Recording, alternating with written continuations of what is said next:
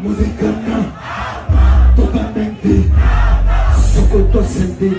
eles me subestimaram, não acreditaram.